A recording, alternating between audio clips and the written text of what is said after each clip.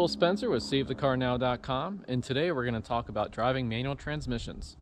A car with a manual transmission will give you the closest connection to the car, will really give you more control and is a lot more fun than pulling a paddle or driving a car in automatic mode. A lot of people may understand this about manual transmissions, but don't necessarily have access to a car that has one. So today we're going to talk about a little trick to learning how to drive manual without having to bother somebody about driving their car or risk hurting it. All manual transmission vehicles have three pedals. You have the clutch on the left side, the brake in the middle, and the gas on the right. Additionally, the gear shifts all have very similar layouts. In this example of a Focus RS, you can clearly see the indications of where the gears each are. Now usually, there's a trick to doing reverse. Now in this case, reverse is up and to the left and if you try to do that the gears will just grind. So there's a there's a trick and each car is a little different. In this case there is a lever you pull up on here.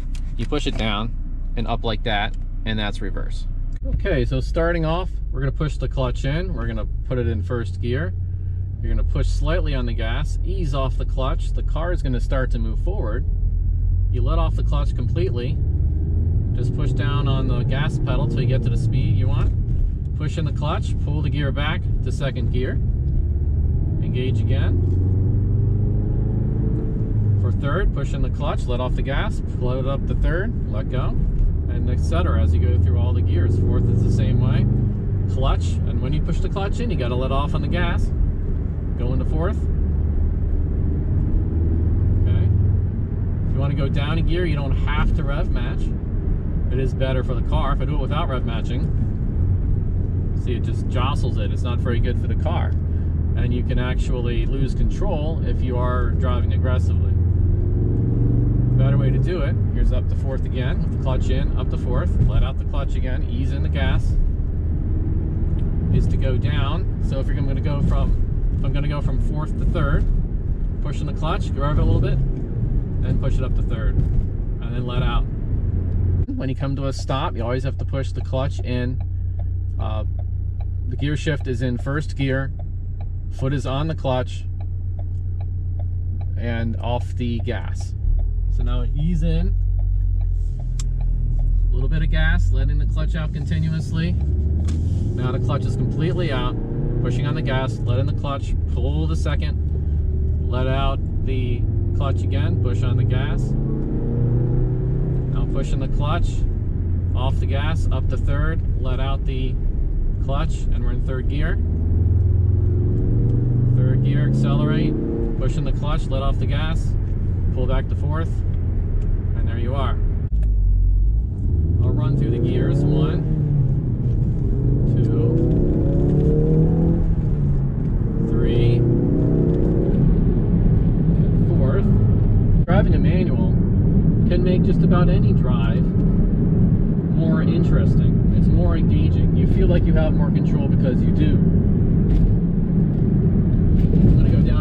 by revving,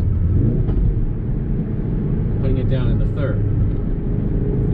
Now I'm coming up to a turn, I'm going to go down into second gear.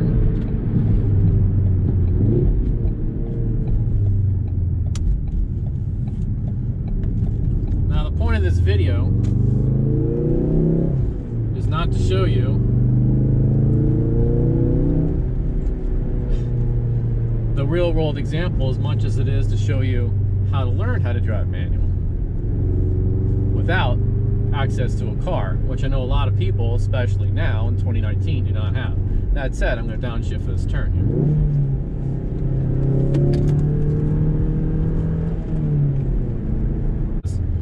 Rev it on the downshift, down to third, down to second, turn in,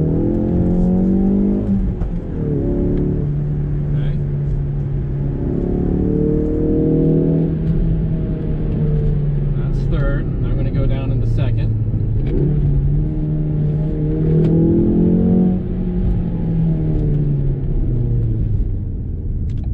And on an acceleration.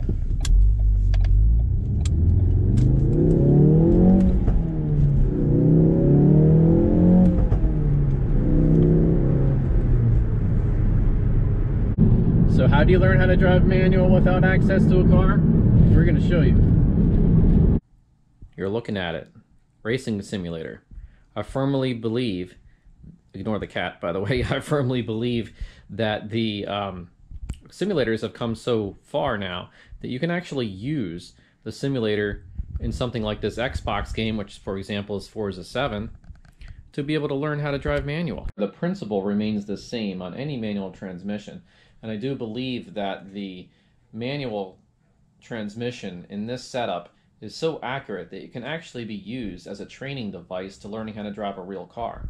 The shifter in this console is pretty easy to use as well. The numbers aren't labeled because each car can be different, but you can see the general layout is the same, very similar as it was in the RS. So it would be first, second, neutral, third, straight back for fourth, fifth is in the upper right, and six is towards you. And that's most cars. Some cars are four speed, some are five. There are actually a few that are seven speed manual, like the Porsche 911 and the uh, Chevy Corvette. Reverse is back and down. This one you actually push down and to the right, which is similar to some cars as well. I believe the 911 is that way. Okay, for this demonstration, we're going to be driving the Focus RS. We're using Forza 7, and we're using a Logitech G920 setup. Now, we have, of course, our clutch, our brake, and our gas. The only real difference between this and reality is that the clutch pedal, they're mounted from the top, not from the bottom, and the throw is much higher, uh, much longer than this. So if you were to push down on the clutch, the difference is this clutch only stops right about here after a couple inches. A real clutch is going to be linked from the top and it's going to come down like this. Okay. Brake pedal is usually the same way, of course, hanging from the top. Some cars, like the like the Alfa Romeo 4C, the gas pedal is linked from the bottom, so that does happen sometimes in reality. So now we're going to drive the car on the game here, and I'll show you how similar to reality this game can be. Okay, so here we are in the simulator slash video game. Uh, and what we're going to do is we have the shifter on our right side. We're going to push in the clutch. We're going to put our gear shifter in the first gear. You can see it indicated on the screen there. And you can note that as you push on the gas pedal, you don't have to floor it like you do in a race. They want you to floor it like this and drop the clutch. They don't really do that. So as you can see, I started to roll backwards, which is just what happens in real life. So it's in first. What I'm going to do is, is I'm going to start to ease on the gas and I'm going to ease off the clutch. And you will see that happen right here. So I've got about 2,000 RPM. Letting the clutch off, and that was a nice smooth takeoff. Pushing the clutch, pull back. And there we are in second. Pushing the clutch, third. All right, I'm gonna come to a stop. Pushing the clutch. Okay. And we're going to do it again. This is the hardest part about driving manual. Clutch first. And you can hear the RPMs rise. And I won't say anything so you can hear it as I engage.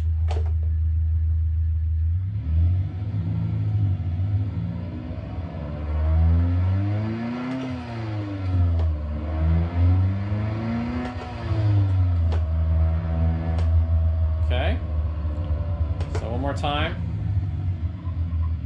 Okay. I'm going to do the first gear, clutch is in, let off of the brake, push a little bit on the gas, and start to ease the clutch out about halfway. See, now that I let it out too quickly. That's exactly what happens in real life. The car will jump. So let's try that again.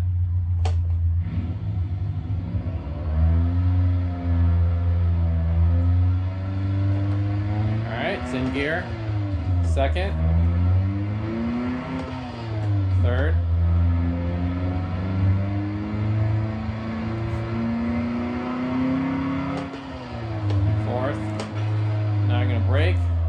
So we go down a gear, you can just do this. But you can see the car jumped, just like it did in real life. So if you really want to go down a gear, you're going to hit the gas. So you can watch me do that. Clutch, gas, Okay, and that puts you in second. So we'll go third, fourth, brake, rev into third. So that was a little bit of a rev match. That's more representative of what you do in real life.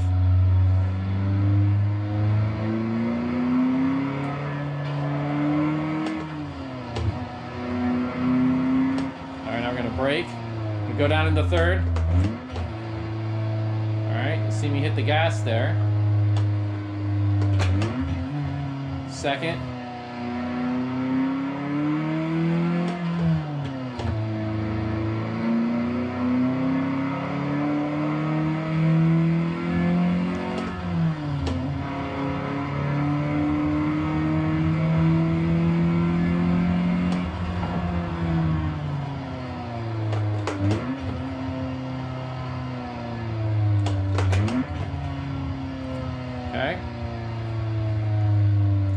So I'm not going to take you all the way around the track lap after lap. It's just to sort of give you a general idea.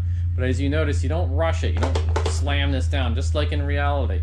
People try to do that in real life. It's called power shifting. It's not very effective.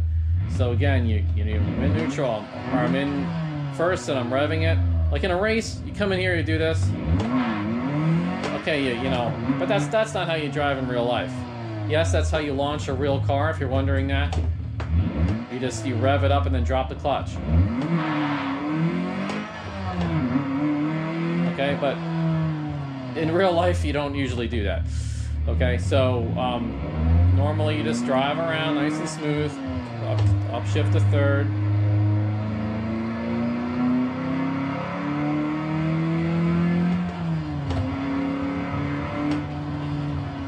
Down the third again.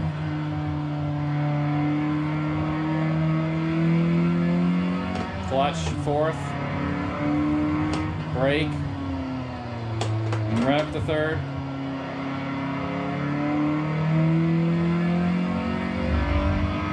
Redline it. Fourth gear. Fifth gear. Alright, now, one thing you can do if you don't heel toe, which is a lesson for another day, is you can go, see I'm still in fifth? You can go all the way down to second, okay? If you slow down enough, you can skip gears in modern cars. Some older cars you can't.